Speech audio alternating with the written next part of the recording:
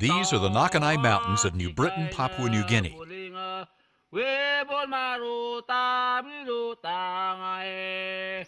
National Geographic Young Explorers grantee Trip Jennings has come here with a team of kayakers and scientists to document this remote biological hotspot and to explore the Pandi River from its underground source all the way to the sea.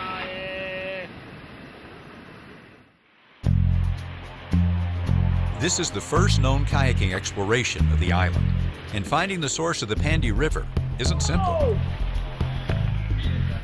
The Pandi pours out from one of the world's largest river cave systems.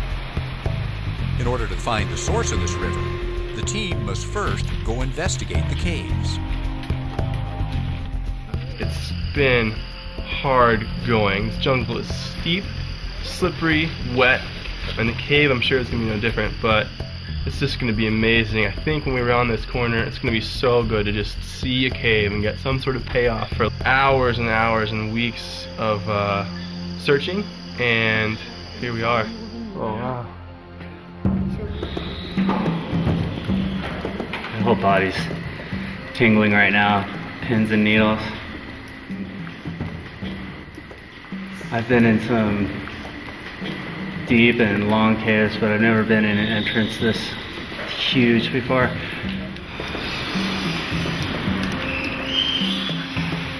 They must get past hundreds of feet of vertical descents and pools of unknown depths.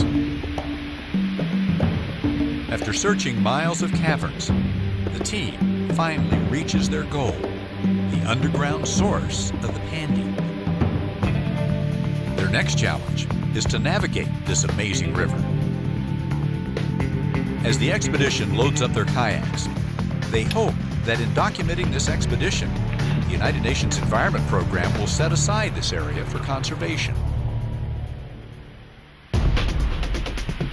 18 annual feet of rainfall on the limestone of the Nakanai Mountains creates an active underwater river system with whitewater and massive waterfalls. The crew's work has paid off. The kayaking is phenomenal.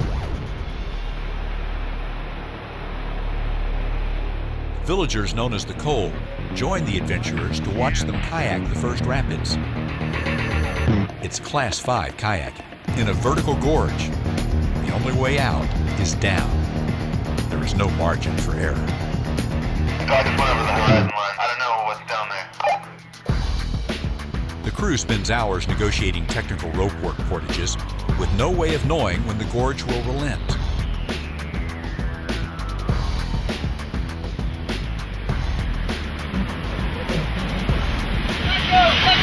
Let go, let go, let go! Because at this point, going up and over through the jungle is going to take us a lot of time. We don't have a lot of daylight left, we need to make some downstream progress. So we're really hoping for an all good. Thankfully, there is a line through the churning whitewater. But it's a difficult move over a powerful waterfall.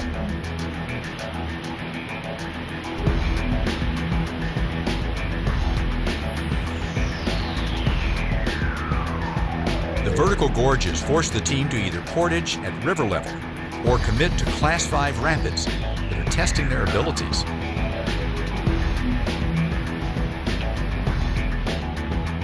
They must work together as a team to survive. We're in the middle of a huge section of whitewater, really steep gorge, and it's wall to wall here, very, very narrow canyon for a little bit. We don't know what's downstream.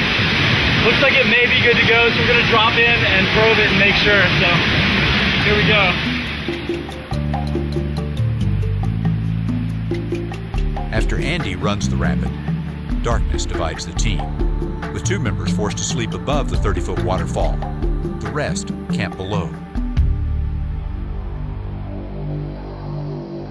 In the morning, the crew reunites and continues through more spectacular gorges filled with rapid runs and waterfalls. It's good to go, but there's a log on the right at the bottom, so make sure you run the left line. And you want to pencil in straight up and down and tuck forward hard, because it's every bit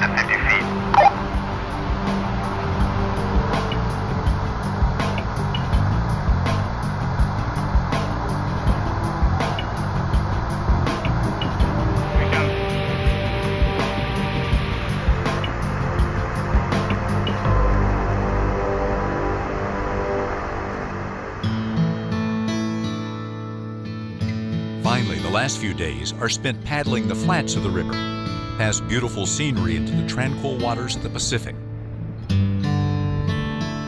They've completed a challenging kayaking expedition on New Britain and may have brought this stunning landscape one step closer to conservation. Sponsored by National Geographic Mission Programs, taking science and exploration into the new millennium.